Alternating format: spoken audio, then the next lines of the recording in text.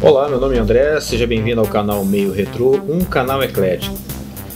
Eu sou evangélico e neste meu canal falo sobre diversos assuntos, entre eles política, religião, tecnologia.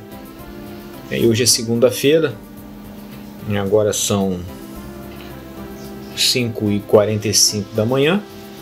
Desejo a todos que veem esse vídeo aí um bom trabalho nesse dia, né? uma semana abençoada em nome do Senhor Jesus. E nós hoje, à, noitinha, né? entre 8 né? e 8 e meia, eu estarei publicando um vídeo sobre a Action Cam né? É SJ7, né?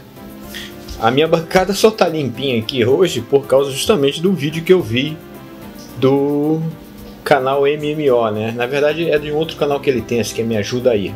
Um abraço aí o canal MMO, não sei o nome dele, aí eu falo assim, o canal MMO. Eu acho que foi o primeiro canal que ele criou, não sei. Então ele estava mostrando, né, ele gravando e uma senhora imagem muito boa, gente. É isso que eu quero vou mostrar para vocês hoje à noite, né? Para as 8 horas da noite, ou às 20 horas e 30 minutos, entre 20 e 20 e 30, estarei publicando o vídeo né, falando justamente sobre essa característica. Né, e a minha bancada aqui só está limpa por causa do canal MMO. Para finalizar aqui, gente, rapidamente, né, vamos, lá, vamos falar das notícias aqui. Uh, Bolsonaro venceu, graças a Deus. Eu votei nele, você talvez tenha votado nele. E como eu falei lá no canal do, do, do protesto, né, ontem, numa live, para o Vanderlei, agora a, a, a técnica agora do do PT, né, dizer, da esquerda agora, é simplesmente querer separar Bolsonaro dos quase 60 milhões que votaram nele. Ou seja, passando a ideia até que Bolsonaro tomou o poder na força como um ditador. Foi impressionante.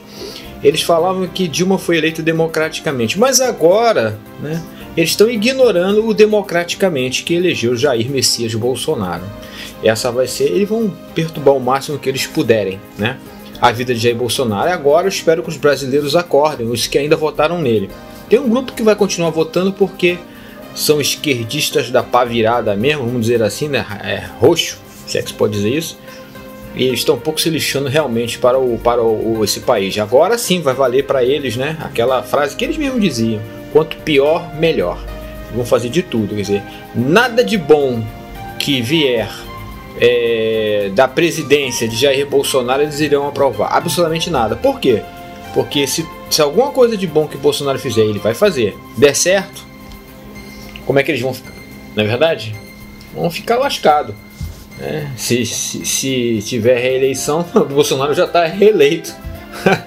ele já está reeleito. Então eles vão agora torcer para que algo tem que dar errado. O suficiente para atrapalhar uma uma, uma reeleição né, é, de Jair Bolsonaro em 2022. Né, 2022, se eu não me engano. Obrigado pela sua atenção e até a noitinha. Tchau, tchau.